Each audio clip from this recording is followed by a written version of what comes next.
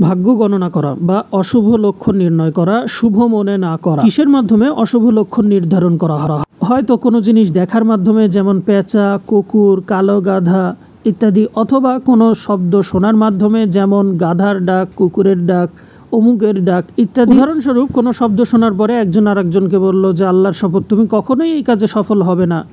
অর্থাৎ সে এই শব্দের মাধ্যমে ভাগ্য নির্ধারণ করল। কখনো কখনো কোনো সংখ্যাকে অশুভ মনে করা হয়, যেমন কোনো মানুষ বলে যে, তোমার ক্লাসে তোমার রোল এত, অথবা খাতার ভিতরে তোমার রোল এত, শিক্ষকের নিকটে তোমার নাম্বার হচ্ছে নয়। তখন সে বলে, আল্লাহর শপথ, আমি কখনোই এই নাম্বারটি গ্রহণ করব না। আমি কখনোই এই রাস্তা দিয়ে চলবো না, কখনোই না। আমি এই পোশাক কখনোই ব্যবহার করব না। আমি এই কলম কখনোই ব্যবহার করব না। কেন? কেননা আমি এই সংখ্যাকে অনিষ্ট মনে করি। এটা ভাগ্য নির্ধারণেরই একটা প্রকার। ভাগ্য নির্ধারণ করার অনেক প্রকার রয়েছে। বর্তমানে অনেকে ভাগ্য নির্ধারণ করে কিসের মাধ্যমে? যেমন অনেকে বলে যে আমি বিবাহ করব, কি করব না, সফর করব, কি করব না, এই মাদ্রাসা ছাড়ব, কি ছাড়ব না। তখন কি করে? বলে যে এই কাগজটি নাও। এই কাগজটি নাও। এখানে দেখো, বিবাহ করবে, কি করবে না। অতপর যেই সিদ্ধান্তটি উঠে, তখন বলে যে আলহামদুলিল্লাহ, আমি এই সিদ্ধান্ত গ্রহণ করলাম। এইটা তীরের মাধ্যমে ভাগ্য নির্ধারণেরই একটা প্রকার। এমনকি বর্তমানে অনেকে কোরআন দিয়েও ভাগ্য নির্ধারণ করে। কীভাবে? কোরআন দিয়ে কীভাবে? প্রথমে কোরআন খোলে তারপরে কোরআনের আয়াতের দিকে দেখে। যদি আয়াত রহমতের আয়াত হয় তাহলে বলে আলহামদুলিল্লাহ আল্লাহর উপর তাওয়াক্কুল করে আমি এবার বিবাহর সিদ্ধান্ত গ্রহণ আল্লাহ আকবার।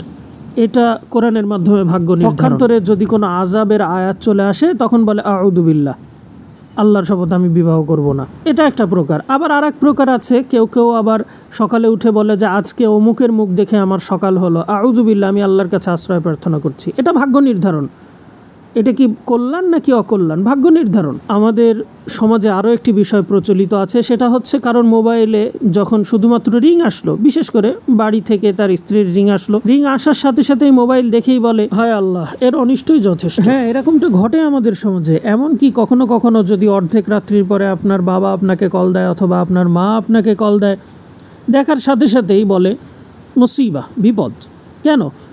আপনি তো এখন পর্যন্ত তার কল রিসিভও করেননি। তাহলে কেন এরকম ভাগ্য নির্ধারণ করলেন? অনুরূপভাবে যদি কোনো ধনী ব্যক্তির কল চলে আসে, তখন দেখার সাথে সাথে বলেন, আলহামদুলিল্লাহ মিলিয়ন রিয়াল ফোন রিসিভ করেই বলেন, আসসালামু আলাইকুম রহমতুল্লাহ আবরাকাত হ্যাঁ আলহামদুলিল্লাহ, সাহি। কেন এরকম ভাগ্য নির্ধারণ করছেন? কেন এরকম শুভ বা অশুভ লক্ষণ নির্ধারণ করছেন? মুসলিম তো এরকমটি করতে পারে না, যেরকমটি মুশরিক বা মুনাফিকরা করে।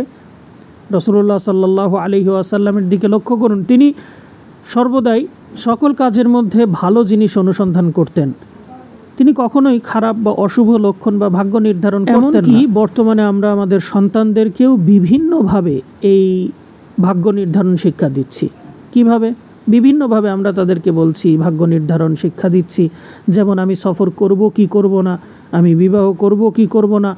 আমি এই কাজটি করব কি করব না? সেক্ষেত্রে আমাদের এখানে আছে আমি জানি না আপনাদের ওখানে আছে কি না আমাদের এখানে এটি আছে। যেমন তারা কোনো কাজ করার আগে এরকমটি গণনা করতে থাকে, শালু, হাত্তু। অতপর যখন শেষ করে, তখন দেখে যে সেখানে কি লেখা আছে। যদি লেখা আছে যে বিবাহ করব না, তাহলে নির্ধারণ করে নেয় যে আমি বিবাহ করব না। অনুরূপভাবে আমরা আরও বিভিন্ন উপায়ে বিভিন্ন উপায়ে আমরা আমাদের সন্তানদেরকে কুফরি, শিরকে, আকবার শিক্ষা দিয়ে থাকি। বিভিন্ন উপায়ে। আমাদের এখানে এটাও আছে, আমি জানি না আপনাদের ওখানে আছে কি না ছোটো বাচ্চাদেরকে আমরা শিক্ষা দিয়ে থাকি কুফরি। যেমন যদি ছোট বাচ্চার দাঁত পড়ে যায় তাহলে আমরা তাকে বলি যে সূর্যের মুখোমুখি হয়ে তাকে বলো ইয়া শামস ইয়া শাম্মুসা তারপরে সূর্যকে ডাকে ডেকে বলে যে আমার এই দাঁত নিয়ে যাও এবং আমাকে এর চেয়ে সুন্দর দাঁত দাও। এটা কি সূর্যের এবাদত নয়? হ্যাঁ এটা সূর্যের এবাদত এক প্রকারের সূর্যের সূর্য আপনাকে সুন্দর দাঁত দিবে সূর্য আপনাকে ভালো দাঁত দিবে সুবহান আল্লাহ এটা শিরকে আকবার। আমরা এরকমটা আমাদের সন্তানদেরকে শিক্ষা দিই। আমরা ছোটবেলা থেকে আমাদের সন্তানদেরকে সূর্যের এবাদত শিক্ষা দিচ্ছি এটা আছে আমাদের মাঝে।